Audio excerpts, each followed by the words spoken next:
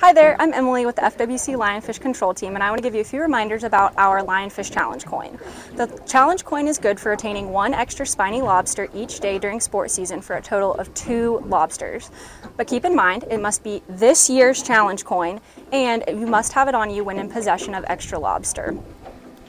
You have until Tuesday the 25th to get your lionfish tails submitted. Once you get them verified at a checkpoint and submitted online, you can go ahead and follow up with email to lionfish at myfwc.com and we'll coordinate getting you your coin.